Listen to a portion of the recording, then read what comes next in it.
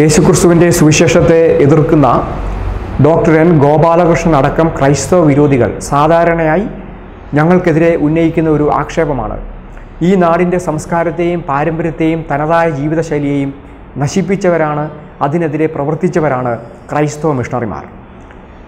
ഇവർ ഈ പറയുന്നത് കേട്ടാൽ തോന്നും ക്രൈസ്തവ മിഷണറിമാർ ഇവിടെ എത്തുന്നതിന് മുൻപ് ഗോപാലകൃഷ്ണന്റെ പൂർവികന്മാരായ സവർണന്മാരാൽ ശാന്തിയും സമാധാനവും ഐക്യവും പൂത്തുലഞ്ഞ് മാനം മുട്ടെ കളിയാടിയിരുന്ന സ്വപ്നസുന്ദരമായ ഒരു പുണ്യ പൂങ്കാവനമായിരുന്നു ഭാരതം അല്ലെങ്കിൽ കേരളം. അങ്ങനെ സ്വപ്നസുന്ദരമായി ഈ നാടിനെ നശിപ്പിച്ചവരാണ് ക്രൈസ്തവ മിഷണറിമാർ. എന്നാൽ ഇവരുടെ ആരോപണത്തിന്റെ പൊള്ളത്തരം കൃത്യമായി മനസ്സിലാക്കണമെങ്കിൽ ക്രൈസ്തവ മിഷണറിമാർ ഇവിടെ എത്തുമ്പോൾ എന്തായിരുന്നു ഈ നാടിന്റെ സംസ്കാരമെന്നും അതിന് മുൻപ് ആര്യബ്രാഹ്മണന്മാർ ഇങ്ങോട്ടെത്തുന്ന കാലത്ത് ഈ നാടിന്റെ സംസ്കാരം എന്തായിരുന്നു? ഗോപാലകൃഷ്ണന്റെ പൂർവികരായ ബ്രാഹ്മണന്മാർ എങ്ങനെയാണ് ആ ജീവിത സാഹചര്യത്തെയും സാമൂഹ്യ വ്യവസ്ഥിതിയെയും തകർത്ത് തരിപ്പണമാക്കിയത് എന്നൊക്കെയുള്ള സത്യങ്ങൾ നാം മനസ്സിലാക്കിയിരിക്കണം. നമുക്കതൊന്ന് പരിശോധിക്കാം. ആയിരത്തി എണ്ണൂറ്റി ആറ് ഏപ്രിൽ ഇരുപത്തിയഞ്ചിന് തിരുവിതാംകൂറിലെ മയിലാടിയിലെത്തിയ എൽ എം എസ് പ്രവർത്തകനായിരുന്ന വില്യം ടോബിയാസ് റിങ്കിൾ ടോബയാണ് കേരളത്തിലെത്തിയ ആദ്യത്തെ Protestant missionary. പിന്നീടെത്തിയ Charles Mead Samuel Mateer Charles Mault Henry Baker Benjamin Bailey എന്നിവരാണ് യേശുക്രിസ്തുവിന്റെ സുവിശേഷം ഈ നാട്ടിൽ പ്രചരിപ്പിച്ചത്. അവരിവിടെ എത്തുമ്പോൾ ഇന്നത്തെ തലമുറയ്ക്ക് സങ്കല്പിക്കുവാൻ പോലും സാധിക്കാത്ത നിലയിൽ മനുഷ്യത്വം അല്പം പോലും തൊട്ടു തീണ്ടിയിട്ടില്ലാത്ത ഒരു കിരാത സംസ്കാരമായിരുന്നു ഡോക്ടർ ഗോപാലകൃഷ്ണന്റെ പൂർവികന്മാർ ഇവിടെ കെട്ടിപ്പടുത്തത്. ഗോപാലകൃഷ്ണന്റെ പൂർവികരായ സവർണരുടെ സംഭാവന കൃത്യമായി അറിയണമെങ്കിൽ അവർ ഈ നാട്ടിലെത്തുന്നതിന് മുൻപ് എന്തായിരുന്നു ഈ നാടിന്റെ സാമൂഹിക അവസ്ഥ എന്ന് നാം മനസ്സിലാക്കേണ്ടതുണ്ട്. സംഘകാലത്തെ ജനജീവിതം എന്ന പുസ്തകത്തിൽ ഇരുപത്തിയെട്ടാമത്തെ പേജിൽ പറയുന്നതനുസരിച്ച് സംഘകാലത്ത് ഏറ്റവും ഉയർന്ന സ്ഥാനം ഉഴവർക്കായിരുന്നു എന്ന് വെച്ചാൽ കൃഷിക്കാർക്ക്. മണ്ണിൽ അധ്വാനിച്ച് എല്ലാവർക്കും ഇഷ്ടഭോജ്യം ഉൽപ്പാദിപ്പിക്കുന്ന ഉഴവർ സമൂഹത്തിലെ എല്ലാവരുടെയും ബഹുമാനം ആർജിച്ചിരുന്നു. തെക്കേ ഇന്ത്യ കുറവർ വെള്ളാളർ പാണർ പുലവർ എന്നിങ്ങനെ വിവിധ വിഭാഗങ്ങളുടെ അധിവാസ കേന്ദ്രമായിരുന്നു. വിജ്ഞാനം പൗരുഷം എന്നിവയുടെ ഏറ്റക്കുറച്ചിലനുസരിച്ച് ജനങ്ങൾ വ്യത്യസ്തമായ തൊഴിലുകൾ തിരഞ്ഞെടുത്തു. എങ്കിലും വസ്ത്രധാരണം ആഹാരം വാസസ്ഥലം വിവാഹം മുതലായവയുടെ കാര്യത്തിൽ അവർ തമ്മിൽ കാര്യമായ വ്യത്യാസമുണ്ടായിരുന്നില്ല. പേജ് അറുപത്തിനാലിൽ പറയുന്നത് ഓരോ വിഭാഗവും ഓരോ തൊഴിൽ ചെയ്ത് ജീവിച്ചിരുന്നുവെങ്കിലും ഇവർ ജാതീയമായി വേർതിരിഞ്ഞിരുന്നില്ല. പാണർ കുറവർ വേടർ എന്നിവർ സമൂഹത്തിലെ മാന്യന്മാരായിരുന്നു. കേരള ചരിത്രം രൂപപ്പെടുന്ന എ ഡി ആദ്യ മൂന്ന് നൂറ്റാണ്ടുകൾ വിവിധ മതങ്ങളുടെയും സംസ്കാരങ്ങളുടെയും സഹവർത്തിത്വത്തിന്റെയും സാഹോദര്യത്തിന്റെയും കാലമായിരുന്നു. സംഘകാലത്ത് ജാതിയുടെ പേരിൽ ഉച്ചനീചത്വങ്ങളും ജാതീയമായ വേർതിരിവുകളും തീണ്ടലും തൊടിയിലും സാമൂഹിക ജീവിതത്തെ ഒട്ടും അലങ്കോലമാക്കിയിരുന്നില്ല. അധ്വാനത്തിന്റെ അന്തസ് എവിടെയും ഉയർത്തിപ്പിടിച്ചിരുന്നതിനാൽ തൊഴിലിന്റെ പേരിൽ സവർണൻ അവർണൻ എന്നിങ്ങനെ ജനങ്ങളെ തരംതിരിക്കുന്ന തരംതാണ പരിപാടി പ്രാചീന കേരളത്തിൽ അല്പം കൂടി വ്യക്തമാക്കിയാൽ ഡോക്ടർ ഗോപാലകൃഷ്ണന്റെ പൂർവികന്മാർ ഇങ്ങോട്ട് എഴുന്നള്ളുന്നത് വരെ ഇവിടെ ഉണ്ടായിരുന്നില്ല. അക്കാലത്ത് തീണ്ടലും തൊടിയിലും കേരളത്തിൽ കേൾട്ടുകേൾവി പോലും ഉണ്ടായിരുന്നില്ല. കാരണം ഗോപാലകൃഷ്ണന്റെ പൂർവികന്മാർ ചാതുർവർണ്യം ഇങ്ങോട്ടേക്ക് ഇറക്കുമതി ചെയ്തിരുന്നില്ല. എങ്ങനെയാണ് ജാതി വ്യത്യാസം ഇവിടെ ഉണ്ടായത് എന്ന ചരിത്രം പരിശോധിക്കുമ്പോഴാണ് ഗോപാലകൃഷ്ണന്റെ പൂർവികന്മാരായ സവർണന്മാർ ഈ നാട്ടിൽ ജനങ്ങളോട് ചെയ്ത ക്രൂരതയുടെയും ദുഷ്ടതയുടെയും ചുരുളഴിയുന്നത്. ഈ തരംതാണ സംസ്കാരം ഗോപാലകൃഷ്ണന്റെ പൂർവികരുടെ സംഭാവനയായിരുന്നു. കേരള ചരിത്രം നൂറ്റാണ്ടുകളിലൂടെ എന്ന പുസ്തകം എഴുതിയ ടി ഡി സദാശിവൻ പേജ് അമ്പത്തിയെട്ടിൽ പറയുന്നതനുസരിച്ച് ബ്രാഹ്മണർ കൂട്ടം കൂട്ടമായി കുടിയേറ്റം ആരംഭിച്ചത് എ ഡി നാലാം നൂറ്റാണ്ടിലാണ്. ഉത്തര കർണാടകത്തിലെ കാദംബ രാജാവായ മയൂരവർമ്മൻ ആഹിച്ചത്രയിൽ നിന്നാണ് ബ്രാഹ്മണരെ കേരളത്തിൽ കൊണ്ടുവന്ന് കുടിയിരുത്തിയത്. കേരള ചരിത്രം തിരുത്തിക്കുറിച്ച സംഭവങ്ങൾ എന്ന പുസ്തകം എഴുതിയ വേലായുധൻ പണിക്കശ്ശേരി പേജ് പന്ത്രണ്ടിൽ പറയുന്നതനുസരിച്ച് ഇന്ന് ദളിതരെന്നും പിന്നോക്ക വർഗക്കാരെന്നും വിളിക്കപ്പെടുന്ന വള്ളുവരും ഇടയരും വില്ലവരും ചെറുമരും കുറുവരും മറ്റുമായിരുന്നു സംഘകാലത്തെ രാജാക്കന്മാർ. ഇതെന്താണ് കാണിക്കുന്നത്? ബ്രാഹ്മണരല്ല ഇവിടുത്തെ ആദ്യ ദേശനിവാസികൾ. പിൽക്കാലത്ത് ഇവിടെ എത്തിയ ബ്രാഹ്മണർ പച്ചക്കള്ളങ്ങൾ പടച്ചുവിട്ട് കുതന്ത്രങ്ങളിലൂടെ ഇവിടുത്തെ നാട്ടുകാരെ വഞ്ചിച്ചുകൊണ്ട് അധികാരം സ്ഥാപിക്കുകയായിരുന്നു എന്നല്ലേ? പതിനൊന്നാം നൂറ്റാണ്ടിലുണ്ടായ സവർണ ആധിപത്യത്തിന് ശേഷം പതിനാറ് പതിനേഴ് നൂറ്റാണ്ടുകളിൽ കേരളത്തിന്റെ പൊതു സ്വഭാവം ജാതി വ്യത്യാസവും തീണ്ടലും തൊടിയിലും പോലുള്ള സാമൂഹിക തിന്മകളായിരുന്നു. ചരിത്രകാരന്മാർ പറയുന്നത് പോലെ സാമൂഹികമായ സ്വാതന്ത്ര്യത്തിന്റെയോ സമത്വത്തിന്റെയോ തത്വങ്ങളിൽ അധിഷ്ഠിതമായിരുന്നില്ല അന്നത്തെ കേരളം. അതിരൂക്ഷമായ ജാതി വ്യത്യാസമായിരുന്നു സമുദായ ഘടനയുടെ മുഖ്യ സവിശേഷത. അപ്പോൾ വേർതിരിവുകളില്ലാതെ ഐക്യത്തോടുകൂടി സഹവർത്തിച്ച ഈ നാടിന്റെ സ്വസ്ഥതയും സമാധാനവും കെടുത്തിയത് ആരാണ്? ക്രിസ്ത്യാനികളല്ല ഇവിടെ എത്തിയ ബ്രാഹ്മണന്മാർ അഥവാ ഡോക്ടർ ഗോപാലകൃഷ്ണന്റെ പൂർവികന്മാരായിരുന്നു. ആര്യന്മാർക്ക് പ്രാബല്യമുണ്ടായതോടുകൂടി ജാതി സമ്പ്രദായം കേരളീയ സാമൂഹിക ജീവിതത്തിന്റെ അവിഭാജ്യ ഘടകമായി തീർന്നു എന്ന് എ ശ്രീധരമേനോൻ തന്റെ കേരള സംസ്കാരത്തിൽ ഇരുപത്തി അഞ്ചാം പേജിൽ എഴുതി. ഇവിടെ എത്തിയ ബ്രാഹ്മണർ ജാതി സമ്പ്രദായം തന്ത്രപൂർവം കേരളത്തിലെ ജാതിരഹിതമായ സമൂഹത്തിലേക്ക് തിരികെ കയറ്റി. അപ്പോൾ ആരാണ് തന്ത്രങ്ങളും കുതന്ത്രങ്ങളും പയറ്റി തങ്ങളുടെ സ്വാർത്ഥ ലാഭത്തിനു വേണ്ടി ആളുകളെ പറഞ്ഞു പറ്റിച്ചതെന്ന് നിങ്ങൾ ചിന്തിക്കണം.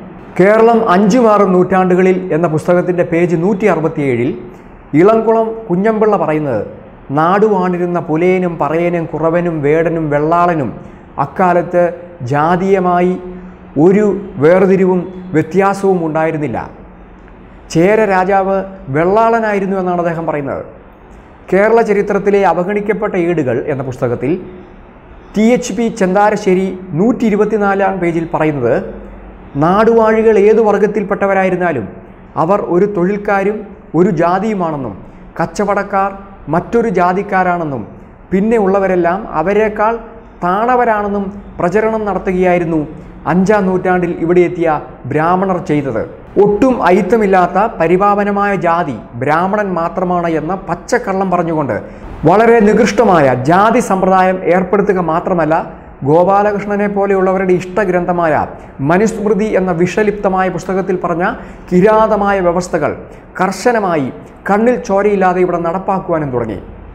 ജാതി ശ്രേണിയിൽ താഴേക്ക് വരുന്തോറും ശുദ്ധി നഷ്ടമായി വന്നു. ഇതനുസരിച്ച് ഉയർന്നവരുടെ തൊഴിൽ വിശുദ്ധവും താഴ്ന്നവരുടെ തൊഴിൽ അശുദ്ധവുമായി തീർന്നു.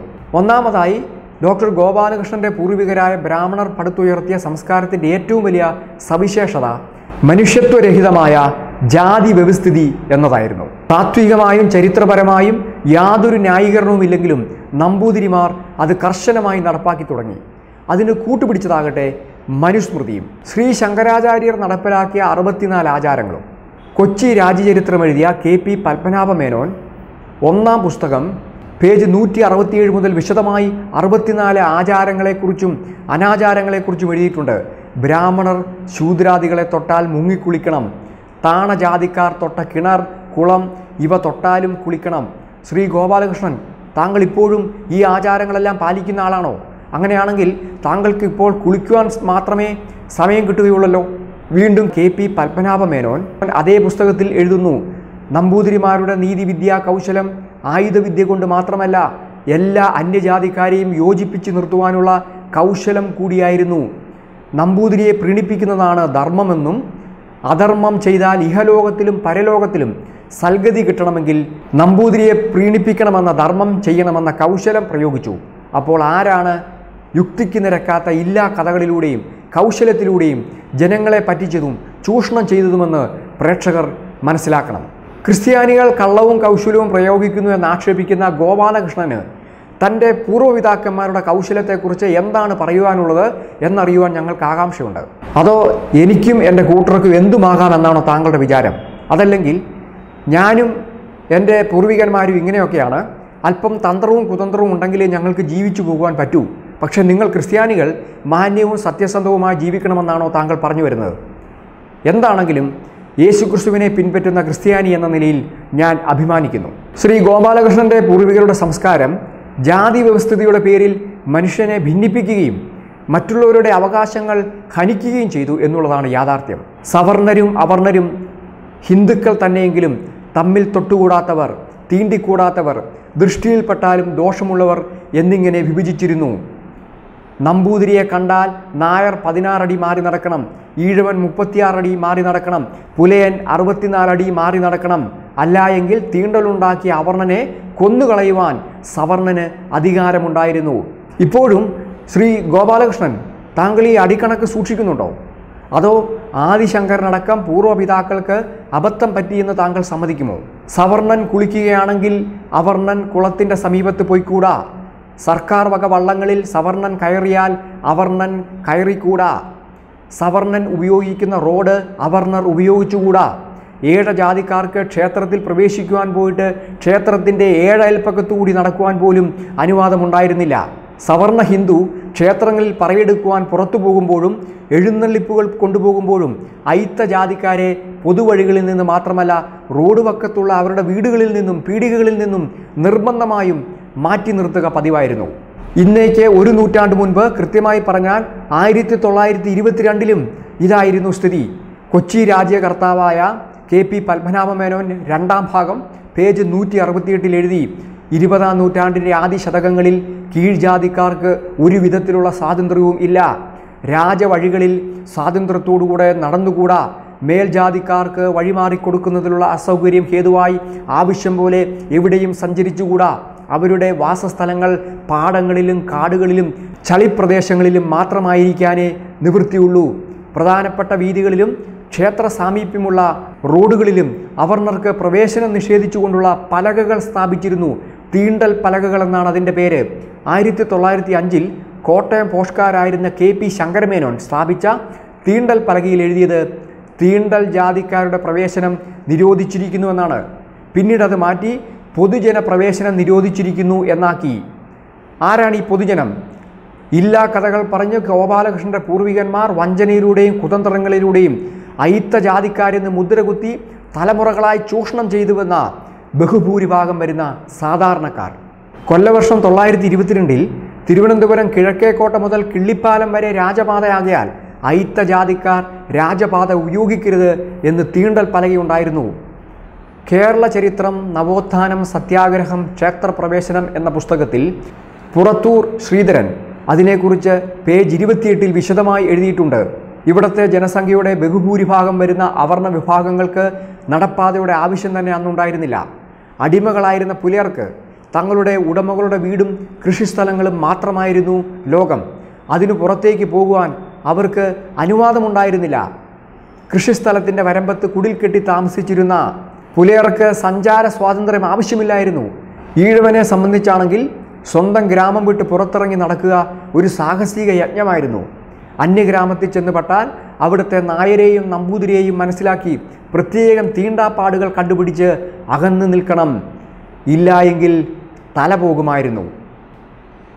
നായ്ക്കളും പൂച്ചകളും നാൽക്കാലി മൃഗങ്ങളും സ്വൈര്യവിഹാരം നടത്തുന്ന റോഡിൽ താണജാതിക്കാരന് സഞ്ചാര സ്വാതന്ത്ര്യം നിരോധിച്ച ഹീന സംസ്കാരമായിരുന്നു ഗോപാലകൃഷ്ണന്റെ പൂർവികന്മാർ ഈ നാടിന് സംഭാവന ചെയ്തത് എന്ന് ഇവരുടെ വിഷലിപ്തമായ വാക്കുകൾ കേട്ട് ക്രിസ്ത്യാനികളെ എതിർക്കുന്ന ഈഴവരടക്കമുള്ള ഇന്നത്തെ അവർണ പിന്നോക്ക സമുദായങ്ങൾ മനസ്സിലാക്കണം. അതിനെക്കുറിച്ച് നിങ്ങൾ ചിന്തിക്കണം. സ്കൂൾ ആശുപത്രി കോടതികൾ രജിസ്ട്രാർ ഓഫീസുകൾ തുടങ്ങി പൊതുസ്ഥലങ്ങളിലൊന്നും അയിത്തജാതിക്കാരായ അധകൃത വർഗത്തിന് പ്രവേശിച്ചുകൂടാ. ശ്രീ ഗോപാലകൃഷ്ണന്റെ പൂർവികന്മാർ അടിച്ചേൽപ്പിച്ച ജാതി വ്യവസ്ഥ എന്ന അസംബന്ധത്തിന്റെ പേരിൽ മനുഷ്യത്വരഹിതവും കിരാതവുമായ ഐത്താചാരം നടപ്പിലാക്കുകയും സാധാരണക്കാർക്കുള്ള പല അവകാശങ്ങളും നിഷേധിക്കുകയും ചെയ്തു ഇവിടുത്തെ ബ്രാഹ്മണർ. അഥവാ ഗോപാലകൃഷ്ണന്റെ പൂർവികന്മാർ. ജാതിയുടെ പേരിൽ മറ്റനേകം മനുഷ്യാവകാശങ്ങളും നിഷേധിക്കുകയും ചെയ്തു ഈ സവർണന്മാർ. ജാതിയുടെ അടിസ്ഥാനത്തിലായിരുന്നു ഭക്ഷണം പോലും തീരുമാനിക്കപ്പെട്ടിരുന്നത്. വിശപ്പടക്കി മനുഷ്യന് ജീവനും ആരോഗ്യവും പ്രദാനം ചെയ്യുന്ന ആഹാരത്തിന് പോലും ജാതിയുടെ പേരിൽ വേർതിരിവുണ്ടാക്കി ഇവിടെ എത്തിയ സവർണ മേലാളന്മാരായ നമ്പൂതിരിമാർ. കേരളത്തിൽ ഏറ്റവും സർവാദരണീയമായ സമുന്നത പദവി അനുഭവിച്ചിരുന്നത് നമ്പൂതിരി സമുദായമായിരുന്നു. ജാതി വ്യത്യാസത്തിനനുസരിച്ച് അന്യോന്യം ഒരു പന്തിയിൽ ഇരിക്കാതിരിക്കുക തൊട്ടുണ്ണാതിരിക്കുക പന്തിക്ക് തന്നെ വകഭേദങ്ങൾ. പന്തൽ നിർമ്മാണം മുതൽ പപ്പടം കാച്ചുന്നത് വരെയുള്ള ആഘോഷങ്ങളുടെ ഒരുക്കങ്ങളിൽ സവർണരും സവർണ പ്രമാണിമാർക്കും അവർണനും മാനദണ്ഡങ്ങൾ പലതായിരുന്നു. ഈഴവർക്ക് സദ്യയിൽ കാച്ചിയ പപ്പടം ശർക്കര ഉപ്പേരി പഞ്ചസാര ഇതൊന്നും വിളമ്പുവാൻ അവകാശമില്ല. വേണമെങ്കിൽ മഹാരാജാവിന് മുൻകൂട്ടി പണം അടിയറ വെച്ച് അനുവാദം വാങ്ങണമായിരുന്നു. ആയിരത്തി തൊള്ളായിരത്തി പതിനാറിൽ കൊച്ചിയിൽ ഒരു തീയന്റെ വീട്ടിൽ ആഘോഷങ്ങളോടും വാദ്യാഘോഷങ്ങളോടും കൂടെ കല്യാണം നടത്തിയതിന് അന്വേഷണവും ശിക്ഷയും ഉണ്ടായി അവർണന് പശുക്കളെ തീറ്റുവാനല്ലാതെ പോറ്റാനോ കറക്കാനോ അവകാശമുണ്ടായിരുന്നില്ല. പശു പ്രസവിച്ചു പത്തു കുല കഴിഞ്ഞാൽ പശുവിനെ കറക്കുന്നതും പാലും പാലുൽപ്പന്നങ്ങളും ഉപയോഗിക്കുന്നതും നമ്പൂതിരിമാർ മാത്രമായിരുന്നു എന്ന് രാജകൽപ്പനയുണ്ടായിരുന്നു നമ്മുടെ നാട്ടിൽ. പശുക്കളെ ആർക്കും വളർത്താം. പക്ഷേ അത് പ്രസവിച്ചു പോയാൽ പിന്നെ ഈഴവർക്കും മറ്റും കറന്നെടുക്കുവാൻ അവകാശമില്ല. അടുത്തുള്ള നായർ പ്രമാണിയെ ഏൽപ്പിച്ചേക്കണം. കറവ് തീരുമ്പോൾ അറിയിക്കും. അപ്പോൾ വീണ്ടും വന്ന് കൊണ്ടുപോകാം. പശുവിനെ കൊണ്ടുപോകുമ്പോഴും തിരികെ കൊണ്ടുവരുമ്പോഴും ഒരു ഊണ് പ്രതിഫലമായി ലഭിക്കും. പാലും വെണ്ണയും നെയ്യും ഉപയോഗിക്കുവാൻ അവകാശം സവർണന് മാത്രമായി തിരെഴുതി കൊടുത്ത സംസ്കാരമായിരുന്നു ഗോപാലകൃഷ്ണന്റെ പൂർവികന്മാർ സംഭാവന ചെയ്ത സംസ്കാരം. ഓരോ ജാതിക്കും ഓരോ പലഹാരമായിരുന്നു. കദളിവാഴ നമ്പൂതിരിക്ക് മാത്രം ഭക്ഷിക്കാം എന്നായിരുന്നു ചട്ടം. ചങ്ങമ്പുഴയുടെ വിശ്വപ്രസിദ്ധമായ വാഴക്കുലയിൽ പറയുന്നത് പോലെ മലയപ്പുലേന മാടത്തിൻ മുറ്റത്ത് മഴ വന്ന നാളൊരു വാഴ നിട്ടു. അവശന്മാരാർത്തന്മാർ ആലംബഹീനന്മാർ അവരുടെ സങ്കടം ആരറിയാൻ കുലവെട്ടി മോഹിച്ചു മോഹിച്ചു ലാളിച്ച കുതുകത്തിൻ പച്ച കഴുത്തുവെട്ടി കരയാതെ മക്കളെ കൽപ്പിച്ചു തമ്പുരാൻ. ഈ കവിത ജാതി വ്യവസ്ഥിതിയുടെ ഇരുളടഞ്ഞ ചരിത്രമാണ് വിളിച്ചു പറയുന്നത്. പത്തൊമ്പതാം നൂറ്റാണ്ടിലെ കേരളം എന്ന പുസ്തകത്തിൽ പേജ് നാൽപ്പത്തിയേഴിൽ പി ഭാസ്കരൻ ഉണ്ണി എഴുതി ഭക്ഷണം തയ്യാറാക്കാൻ ഉപ്പിനും ഉലുവായിക്കുമായെങ്കിലും അങ്ങാടിയിൽ പോകേണ്ടി വരും. അവർണരിൽ സാധുക്കളായവരുടെ ഭക്ഷണത്തിന്റെ ഏക സ്വാദ് ഉപ്പിന്റേത് മാത്രമാണ്. പക്ഷേ അങ്ങാടിയിൽ പോകുവാൻ അവർണന് അനുവാദമില്ല അവകാശമില്ല. അവൻ ആവശ്യമുള്ള സാധനത്തിന്റെ വില ഒരു സ്ഥലത്ത് വെച്ച് ദൂരെ മാറി നിന്ന് ഉച്ചത്തിൽ നിലവിളിച്ചുകൊണ്ട് തനിക്ക് വേണ്ട സാധനത്തിന്റെ പേര് വിളിച്ചു പറയും. കച്ചവടക്കാരൻ വന്ന് പണമെടുത്ത് സാധനം അവിടെ വെച്ചിട്ട് മാറും. അവർണന് അതെടുത്തുകൊണ്ട് പോകാം. ഒരു കള്ളക്കഥയുടെ പേരിൽ അവർണൻ നിന്ന് മുദ്രകുത്തി മാനുഷികമായ യാതൊരു പരിഗണനയും നൽകാത്ത ഹീന സംസ്കാരം. ക്ഷേത്രങ്ങളിലും ബ്രാഹ്മണർക്ക് ഭക്ഷണ സംബന്ധമായ വിശേഷാധികാരങ്ങൾ ഉണ്ടായിരുന്നു. ബ്രാഹ്മണർക്ക് കയ്യിൽ കൊടുക്കുകയും അബ്രാഹ്മണർക്ക് എറിഞ്ഞു കൊടുക്കുകയും ചെയ്യുമായിരുന്നു. ഭക്ഷണത്തിന്റെ കാര്യത്തിൽ മാത്രമല്ല ഉടുതുണിയുടെ പേരിലും ജാതി ഉണ്ടായിരുന്നു. ഒരുവന്റെ വസ്ത്രം കണ്ടാൽ അവന്റെ ജാതി ഏതെന്ന് മനസ്സിലാക്കാമായിരുന്നു. ആ വിധത്തിലായിരിക്കണം മുണ്ടുടുക്കലും മേൽമുണ്ട് ധരിക്കലും. അവർണൻ ഉടുക്കുന്ന മുണ്ട് മുട്ടിന് താഴെ വരുവാൻ പാടില്ല. തോർത്ത് തോളിലിടുവാൻ പാടില്ല. മഴയായാലും വെയിലായാലും ഈഴവൻ ഓലക്കുട ചൂടുവാൻ നിവൃത്തിയില്ല. നായർ സ്ത്രീകൾക്ക് വിധിച്ചിരുന്ന അച്ചിപ്പുടവ നെയ്യുന്നത് ഈഴവൻ പക്ഷേ അവന്റെ ഭാര്യയ്ക്ക് അതുടുക്കുവാൻ യോഗമില്ല. ഇന്ന് സഞ്ചാര സ്വാതന്ത്ര്യം അനുഭവിച്ചുകൊണ്ട് ഇഷ്ടഭക്ഷണവും വേഷവും ധരിക്കുന്ന ഈഴവരടക്കമുള്ളവർ. ഗോപാലകൃഷ്ണന്റെ പൂർവപിതാക്കൾ ജാതിയുടെയും മതത്തിന്റെയും പേരിൽ എന്തെല്ലാം ക്രൂരതകളാണ് നിങ്ങളുടെ പൂർവികന്മാരുടെ മേൽ അടിച്ചേൽപ്പിച്ചതെന്ന് ഒരു നൂറുവട്ടം ചിന്തിച്ചിട്ട് വേണം ഗോപാലകൃഷ്ണന്റെ അർത്ഥസത്യങ്ങൾ വിശ്വസിച്ച് ഞങ്ങളെ കല്ലെറിയുവാൻ. ജാതിയുടെ അടിസ്ഥാനത്തിലായിരുന്നു തൊഴിൽ. ഒരു ജാതിക്കാരന് അവന്റെ ജാതിയുടെ തൊഴിൽ മാത്രമേ ചെയ്യുവാൻ പാടുള്ളൂ. ധർമ്മശാസ്ത്രപ്രകാരം ജാതി തൊഴിൽ എന്നാൽ കുലധർമ്മം എന്നാകുന്നു. ആ തൊഴിൽ കൊണ്ട് ഉപജീവനത്തിന് വഴി കിട്ടുകയില്ലെന്നും ഉപജീവനത്തിന് ഒരു തൊഴിൽ ആവശ്യമില്ലെന്നും വെക്കുക. എന്നാലും കുലധർമ്മം ആചരിക്കാതിരിക്കരുത്. അതെല്ലാം കേവലം ഉപജീവനത്തിലുള്ള മാർഗമായിട്ട് മാത്രമല്ല മതപരമായ ഈശ്വര ഭജനമായിട്ട് കൂടിയാണ് വിധിച്ചിരിക്കുന്നതും ആചരിക്കുന്നതും എന്ന് കാണിപ്പയ്യൂർ ശങ്കരൻ നമ്പൂതിരിപ്പാട് ആര്യന്മാരുടെ കുടിയേറ്റം കേരളത്തിൽ എന്ന തന്റെ പുസ്തകം രണ്ടാം ഭാഗം ഒന്നാം പേജിൽ പറഞ്ഞിട്ടുണ്ട്. പേജ് രണ്ടിൽ അദ്ദേഹം തുടരുന്നു. തീയുടെ ധർമ്മം ചൂടാണ്. തീയാണെങ്കിൽ ചൂട് എന്ന ധർമ്മം ഉണ്ടാകാതിരിക്കുകയില്ല ശർക്കരയാണെങ്കിൽ മധുരം ഉണ്ടാകാതിരിക്കുകയില്ല അതുപോലെയാണ് കുലധർമ്മത്തിന്റെ അർത്ഥവും. ഒരു കുലത്തിൽ ജനിച്ചവനാണെങ്കിൽ ആ ധർമ്മം ചെയ്യാതിരിക്കരുത്. കേരളത്തിൽ ശൂദ്രർ മുതൽ പുലയർ പറയർ അടക്കമുള്ള വംശക്കാർക്കെല്ലാം പ്രത്യേകം ഓരോ തൊഴിലുണ്ട്. പിന്നീട് അദ്ദേഹം വളരെ വിശദമായി ഓരോ ജാതിയുടെയും ജാതി തൊഴിൽ വിശദമാക്കുന്നു. പേജ് ഏഴിൽ നായന്മാർ ബ്രാഹ്മണരുടെ ഭൃത്യവർഗമാകുന്നു പള്ളിച്ചൻ എന്നൊരു കൂട്ടരുണ്ട്. നമ്പൂതിരിയുടെ പല്ലക്കു ചുമക്കലാണ് പണി. വിളക്കിത്തല നായർ സവർണർക്കെല്ലാം ക്ഷൗരം ചെയ്തു കൊടുക്കലാണ് പണി. പുലയൻ വയലിൽ പണിയെടുക്കുന്നവൻ. ഇത്രയും പറഞ്ഞ കാണിപ്പയ്യൂർ സ്വന്തം സമുദായക്കാരുടെ കാര്യം പറയാൻ മറന്നില്ല. പേജ് അറുപത്തി ഒമ്പത് അധ്യായം ഏഴ്. പച്ച ഭാഷയിൽ പറഞ്ഞാൽ നമ്പൂതിരിമാർക്ക് വിധിച്ചിട്ടുള്ള കുലധർമ്മം ഈശ്വര ഭജനവും ഭജിക്കുന്നവരെ സഹായിക്കലുമാകുന്നു. ഈശ്വര ഭജനം നമ്പൂതിരിക്ക് മാത്രമാണ്. അപ്പോൾ സഹായവും നമ്പൂതിരിക്ക് മാത്രം. നമ്പൂതിരിമാർ ഒഴിച്ചുള്ള ശൂദ്രൻ അത്തിക്കുറിശി പള്ളിച്ചൻ എന്നിവരുടെ കുലധർമ്മം നമ്പൂതിരിമാരെ പരിചരിക്കൽ ആണല്ലോ. പേജ് നൂറ്റി തൊണ്ണൂറ്റിയൊന്നിലാണ് ഇത്രയും കാര്യങ്ങൾ അദ്ദേഹം പറയുന്നത്. എന്ന് വെച്ചാൽ മതത്തിന്റെയും ആചാരത്തിന്റെയും പേരിൽ മേലനങ്ങാതെ മറ്റുള്ളവർ അധ്വാനിച്ചത് ചൂഷണം ചെയ്ത് ജീവിച്ചതാണ് ഗോപാലകൃഷ്ണന്റെ പൂർവികരായ സവർണന്റെ പാരമ്പര്യം എന്നിട്ടാണ് ഈ മഹാൻ ക്രിസ്ത്യാനികളെ ആക്ഷേപിക്കുവാൻ വന്നിരിക്കുന്നത്. അയിത്ത താങ്കളുടെ പൂർവികന്മാർ മുദ്രകുത്തിയവരെ ചൂഷണം ചെയ്തതും പറഞ്ഞു പറ്റിച്ചതുമല്ലാതെ മനുഷ്യ സമൂഹത്തിന്റെ പുരോഗതിക്കും പ്രയോജനമുള്ള എന്തെങ്കിലും ഗുണം താങ്കളുടെ പൂർവികരായ സവർണരെ കൊണ്ട് ഈ നാടിനോ നാട്ടുകാർക്കോ ഉണ്ടായിട്ടുണ്ടോ എന്ന് ഞാൻ ചോദിക്കുകയാണ്. താങ്കളുടെ പൂർവികന്മാരാൽ ചൂഷണത്തിനും ക്രൂരതയ്ക്കും പാത്രമായ പൂർവികന്മാരുടെ പിന്തുലമുറയിൽപ്പെട്ടയാൾ എന്ന നിലയിൽ എനിക്ക് താങ്കളോടുള്ള ചോദ്യമാണിത്. ബഹുഭൂരിഭാഗം വരുന്ന ജനങ്ങളെ മതത്തിന്റെയും ആചാരത്തിന്റെയും പേരിൽ ജാതി വസ്തുതയുടെ നീരാളിപ്പിടുത്തത്തിൽ തളച്ചിട്ട ഒരു ഇരുണ്ട കാലഘട്ടമല്ലാതെ എന്ത് സംഭാവനയാണ് ഗോപാലകൃഷ്ണന്റെ പൂർവികന്മാരായ സവർണന്മാർ ഈ നാടിന് നൽകിയത്?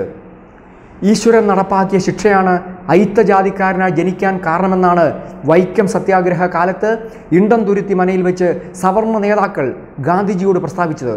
അപ്പോൾ അപ്പോൾ മതത്തിന്റെയും വിശ്വാസത്തിന്റെയും പേരിൽ ഇല്ലാ കഥകൾ ആരാണ് പറഞ്ഞതെന്നും അതിന്റെ മറവിൽ ജനങ്ങളെ ചൂഷണം ചെയ്ത് പറഞ്ഞു പറ്റിച്ചതും വഞ്ചിച്ചതും ആരുടെ പാരമ്പര്യമാണ് എന്നും പ്രിയ ശ്രോതാക്കൾ ചിന്തിക്കണം. നവോത്ഥാന കാലത്തെ കേരളം എന്ന പുസ്തകത്തിൽ സുരേന്ദ്രൻ ചീക്കിലിക്കോട് പേജ് ഇരുപത്തിയൊന്നിൽ എഴുതിയതുപോലെ ജൈന ബുദ്ധമതങ്ങൾക്ക് ശേഷം കേരളത്തിലേക്കുണ്ടായ ബ്രാഹ്മണ കുടിയേറ്റമാണ് ഇത്രയും സങ്കീർണമായ ഒരു ജാതി വ്യവസ്ഥിതിക്ക് കേരളത്തിൽ വിത്ത് പാകിയത് ജാതീയമായ ഉച്ചനീചത്വങ്ങളും ക്രൂരമായ അനാചാരങ്ങളും അന്ധവിശ്വാസങ്ങളുമല്ലാതെ മനുഷ്യനും സമൂഹത്തിനും പ്രയോജനമുള്ള എന്തെങ്കിലും ഗുണം ഗോപാലകൃഷ്ണന്റെ പൂർവികരായ സവർണന്മാരെ കൊണ്ട് ഈ നാടിനുണ്ടായിട്ടുണ്ടോ എന്ന് ഞാൻ വീണ്ടും ചോദിക്കുകയാണ്. കൊച്ചി രാജചരിത്രം എഴുതിയ കെ പി പത്മനാഭമേനോൻ ഇതിൽ എഴുതിയതുപോലെ ജാത്യാചാരങ്ങൾ കൊണ്ട് ഐക്യമത്യമില്ലാതെയായി തമ്മിൽ ഭിന്നിച്ച് അനേകവിധമായ ദോഷങ്ങൾ ജനസമുദായത്തിന് നേരിട്ടിട്ടുണ്ട്. വി വി കെ വാലത്ത് ചരിത്ര കവാടങ്ങൾ എന്ന തന്റെ പുസ്തകത്തിൽ പേജ് നൂറ്റി പതിനഞ്ചിൽ എഴുതിയതുപോലെ എ ഡി അഞ്ചാം നൂറ്റാണ്ടിന് ശേഷം വന്ന ബ്രാഹ്മണ മേധാവിത്വം അതുവരെ നിലനിന്നിരുന്ന കാലഘട്ടത്തിലെ സാമൂഹിക വ്യവസ്ഥിതിയെ മറിച്ചു കളഞ്ഞു. സ്വന്തം ആധിപത്യം ഉറപ്പിക്കുകയും ജനദ്രോഹകരമായ ചൂഷകരുടെ സാമൂഹിക ക്രമം സ്ഥാപിക്കുകയും ചെയ്തു. കേരളത്തിന്റെ ശനിദശ അവിടം മുതൽ ആരംഭിക്കുന്നു ഗോപാലകൃഷ്ണന്റെ പൂർവികരായ ബ്രാഹ്മണരുടെ ആധിപത്യം ഉണ്ടായതോടുകൂടി നാടിന്റെ ഗതികേട് തുടങ്ങിയെന്നാണ് താൻ പറഞ്ഞു വെച്ചത്. അപ്പോൾ ആരാണ് ഈ നാടിന്റെ ഐക്യം തകർത്തത്? നാടിന്റെ പുരോഗതിയെ പിന്നോട്ടടിച്ചത് അത് ഞങ്ങൾ ക്രിസ്ത്യാനികളല്ല. ജാതിയുടെയും മതത്തിന്റെയും പേരിൽ നാടിനെ വിഭജിച്ച് നാട്ടുകാരെ ചൂഷണം ചെയ്ത ഗോപാലകൃഷ്ണന്റെ പൂർവികന്മാരായിരുന്നു. ഇവിടെ എത്തിയ ബ്രാഹ്മണന്മാരായിരുന്നു. ഞങ്ങൾ മുറുകെ പിടിക്കുന്ന ദൈവവചനമായ ബൈബിളിൽ റോമാലേഖനം പതിമൂന്നാം അധ്യായം പറയുന്നത് പോലെ അധികാരങ്ങൾക്ക് കീഴടങ്ങിയും നികുതി കൊടുത്തും നാടിന്റെ നന്മയ്ക്ക് വേണ്ടി പ്രാർത്ഥിക്കുകയും ചെയ്യുന്നവരാണ് ഞങ്ങൾ ക്രിസ്തു ശിഷ്യർ. മുൻ ശാസ്ത്രജ്ഞൻ എന്ന് പറയപ്പെടുന്ന ഡോക്ടർ എൻ ഗോപാലകൃഷ്ണൻ ശമ്പളം വാങ്ങിയതും ഇപ്പോൾ പെൻഷൻ വാങ്ങുന്നതും ഹിന്ദുവിന്റെ മാത്രം പണമാണോ? ഞങ്ങൾ ക്രിസ്ത്യാനികൾ നൽകിയ നികുതി പണവും അതിലില്ലേ? അതോ ക്രിസ്ത്യാനികളോട് മാത്രമേ തങ്ങൾക്ക് ഐത്തുമുള്ളൂ അവരുടെ പണത്തോടില്ലേ? എന്തുകൊണ്ട് ശ്രീ ഗോപാലകൃഷ്ണൻ ക്രൈസ്തവ മിഷണറിമാരെയും ക്രൈസ്തവരെയും വെറുപ്പോടെ കാണുന്നു എന്ന ചോദ്യത്തിനാണ് ഇവിടെ പ്രസക്തി? കേരളത്തിലുണ്ടായ സാമൂഹിക നവോത്ഥാനത്തിന് വിത്തുപാകിയതും പ്രധാന സംഭാവന നൽകിയതും ഇവിടെ എത്തിയ ക്രൈസ്തവ മിഷണറിമാരായിരുന്നു. താണജാതിക്കാരനായതുകൊണ്ട് യാതൊരു മാനുഷിക പരിഗണനകളോ അവകാശങ്ങളോ ഇല്ലാതെ മൃഗങ്ങളെക്കാൾ ദയനീയമായി ജീവിച്ച ഐത്തജാതിക്കാരെ ആദ്യമായി മാനുഷിക പരിഗണനയോടെ കണ്ടത് യേശുക്രിസ്തുവിന്റെ സുവിശേഷവുമായി ഇവിടെ എത്തിയ ക്രൈസ്തവ മിഷണറിമാരായിരുന്നു. അല്ലാതെ അവരെ ചൂഷണം ചെയ്ത് മാത്രം പരിചയിച്ച ജീവിച്ച ശ്രീ ഗോപാലകൃഷ്ണന്റെ പൂർവികരല്ലായിരുന്നു. ആ കിരാതമായ അവസ്ഥയിൽ നിന്നും അവരെ മനുഷ്യരുടെ നിലയിലേക്ക് ഉയർത്തുവാൻ സഹായിച്ചത് ഇവിടെ എത്തിയ ക്രൈസ്തവ മിഷണറിമാരായിരുന്നു.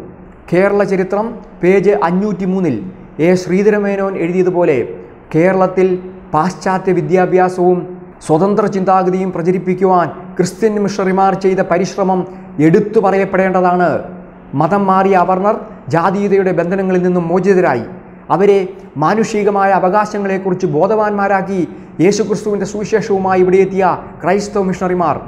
ഈ നാട്ടിലെ അയിത്തജാതിക്കാരെ ആദ്യമായി അവകാശബോധത്തിന്റെ ആദ്യ പാഠങ്ങൾ പഠിപ്പിച്ചത് മോചനത്തിന്റെ സന്ദേശവുമായി ഇവിടെ എത്തിയ ക്രൈസ്തവ മിഷണറിമാരായിരുന്നു. ജാതിയുടെ പേരിൽ അവർണരെ ചൂഷണം ചെയ്ത് ജീവിച്ച തന്റെ പൂർവികന്മാരുടെ സവർണ കാലഘട്ടം ഇല്ലായ്മ ചെയ്യുവാൻ കാരണക്കാരായ മിഷണറിമാരോട് ഗോപാലകൃഷ്ണന് കലിപ്പും വെറുപ്പും ഉണ്ടായതിൽ അതിശയിക്കാനുണ്ടോ? അതുകൊണ്ടുള്ള ദീനരോധനം മാത്രമാണ് ക്രൈസ്തവർക്കെതിരെയുള്ള ഇദ്ദേഹത്തിന്റെ വിഷലിപ്തമായ വാക്കുകൾ. അരിയാഹാരം കഴിച്ചിട്ടും അത് മനസ്സിലാകാതിരിക്കണമെങ്കിൽ ഗോപാലകൃഷ്ണൻ പറയുന്ന സകല അസംബന്ധങ്ങളും പച്ചക്കള്ളങ്ങളും തൊണ്ട തൊടാതെ വിഴുങ്ങുന്ന ആളായിരിക്കണം. ഇവിടെയാണ് യേശുക്രിസ്തുവിന്റെ സുവിശേഷത്തിന്റെ പ്രസക്തി. ലൂക്കോസിന്റെ സുവിശേഷം രണ്ടാം അധ്യായം പത്താം വാക്യത്തിൽ നാം വായിക്കുന്നത് ഇപ്രകാരമാണ്. സർവജനത്തിനും ഉണ്ടാകുവാനുള്ള ഒരു മഹാസന്തോഷം ഞാൻ നിങ്ങളോട് സുവിശേഷിക്കുന്നു. ക്രിസ്തു എന്ന രക്ഷിതാവ് ദാവീദിന്റെ പട്ടണത്തിൽ നിങ്ങൾക്കായി ജനിച്ചിരിക്കുന്നു. യേശു ക്രിസ്തുവിന്റെ ജനനത്തെക്കുറിച്ച് ദൈവദൂതന്മാർ ആട്ടിടയന്മാരോട് പറയുന്നതാണിത്. അന്നത്തെ കാലത്ത് സാമൂഹ്യ വ്യവസ്ഥിതിയിൽ സമൂഹത്തിലെ പിന്നോക്ക വർഗക്കാരും അധകൃത വർഗക്കാരുമായിരുന്നു ആട്ടിടയന്മാർ. യേശുക്രിസ്തുവിലൂടെയുള്ള പാപമോചനവും നിത്യജീവനും സകല ജനത്തിനുമുള്ള സുവാർത്തയാണ് ദേവപ്രീതിയും ദൈവസേവയും സ്വന്തം സമുദായക്കാർക്ക് മാത്രം കുത്തകാവകാശമായി വെക്കുകയും ഹീനജാതിക്കാരനെന്ന് മുദ്ര കുത്തപ്പെട്ടവർക്ക് അപ്രാപ്യമാക്കുകയും ചെയ്ത ഗോപാലകൃഷ്ണന്റെ ഹീന സംസ്കാരമല്ല യേശുക്രിസ്തു പഠിപ്പിച്ച സ്നേഹത്തിന്റെയും സാഹോദര്യത്തിന്റെയും സന്ദേശം. മനുഷ്യനെ മനുഷ്യനായി കാണുവാൻ ലോകത്തെ പഠിപ്പിച്ച സന്ദേശമാണ് യേശുക്രിസ്തുവിന്റെ സുവിശേഷം. ലോകചരിത്ര സംഗ്രഹം എഴുതിയ എച്ച് ജി വെൽസ് പേജ് നൂറ്റി എൺപത്തി മൂന്നിൽ പറഞ്ഞതുപോലെ മനുഷ്യനോട് മനുഷ്യനെന്ന നിലയ്ക്കൊരു ആദരവ് ക്രിസ്തുമതത്തിന്റെ വളർച്ചയോടുകൂടി ശ്രീ യേശുവിന്റെ സിദ്ധാന്തങ്ങളുടെ വ്യാപ്തിയോടുകൂടി ലോകത്ത് വർദ്ധിച്ചു വരുന്നതായി നമുക്ക് കാണാം. സവർണന്മാർ രൂപകൽപ്പന ചെയ്ത അടിമച്ചങ്ങലകളെയും ജാതീയമായ കൊടും ക്രൂരതകളെയും തകർത്തുകൊണ്ടാണ് യേശു ക്രിസ്തുവിന്റെ സുവിശേഷം ഈ മണ്ണിൽ പ്രസംഗിക്കപ്പെട്ടത് അങ്ങനെ ഞാനും നിങ്ങളും മനുഷ്യരായി മനുഷ്യാവകാശങ്ങളുള്ളവരായി അസ്തിത്വ ബോധമുള്ളവരായി ആ സുവിശേഷത്തെ തള്ളിക്കളയുമ്പോൾ നമ്മുടെ പൂർവികരെ അടിമത്തത്തിൽ തളച്ചിട്ട ആ സവർണ സംസ്കാരത്തിലേക്ക് മ്ലേച്ഛ സംസ്കാരത്തിലേക്ക് തിരികെ കൊണ്ടുപോകുവാനുള്ള ഗോപാലകൃഷ്ണനെ പോലെയുള്ളവരുടെ പദ്ധതികൾക്ക് വളം വെച്ചു കൊടുക്കുകയാണ് യഥാർത്ഥത്തിൽ നിങ്ങൾ ചെയ്യുന്നത് എന്ന് മറക്കാതിരിക്കുക. മനുഷ്യരെ ജാതിയുടെ അടിസ്ഥാനത്തിൽ ഉയർന്നവരെന്നും താഴ്ന്നവരെന്നും പല തട്ടുകളായി ഉറപ്പിച്ചു നിർത്തിക്കൊണ്ട് ഒരു ജാതിക്കാരന് മറ്റൊരു ജാതിയിലേക്കും മറ്റൊരു പദവിയിലേക്കും മാറുവാൻ കഴിയാത്ത നിലയിലാക്കുന്ന ജാതി വ്യവസ്ഥിതിയുടെ വക്താവായ ഗോപാലകൃഷ്ണന്റെ കള്ളക്കഥകൾ വിശ്വസിക്കാതെ സകല മനുഷ്യർക്കും പാപമോചനത്തിന്റെയും സ്വാതന്ത്ര്യത്തിന്റെയും സന്ദേശം പ്രദാനം ചെയ്ത യേശുക്രിസ്തുവിനെ കണ്ടെത്തുവാൻ നിങ്ങൾ ശ്രമിക്കുക. ഇവിടെ ഡോക്ടർ ഗോപാലകൃഷ്ണനോട് എനിക്കുള്ള ഒരു ചോദ്യം. ഇവിടെ എത്തിയ ക്രൈസ്തവ മിഷണറിമാർ ക്രിസ്ത്യാനികൾ ഈ നാടിന്റെ നന്മ നശിപ്പിച്ചു എന്ന് ആക്രോശിക്കുന്ന ഗോപാലകൃഷ്ണൻ സ്വന്തം കുടുംബക്കാരും പൂർവികന്മാരും ഈ നാടിന് ചെയ്ത നന്മകളെക്കുറിച്ച് എന്താണ് ഒന്നും പറയാത്തത്? അതോ ഈ നാടിന് നന്മയുള്ള ഒരു കാര്യവും താങ്കളുടെ പൂർവികന്മാരായ സവർണന്മാർ ചെയ്തിട്ടില്ല എന്നുള്ളത് കൊണ്ടാണോ? അതോ പുറത്തു പറയുവാൻ കൊള്ളാവുന്ന ഒരു കാര്യവും അവർ ചെയ്തിട്ടില്ല എന്നുള്ളത് കൊണ്ടാണോ താങ്കൾ അതിനെക്കുറിച്ച് ഒരക്ഷരവും മിണ്ടാത്തത്?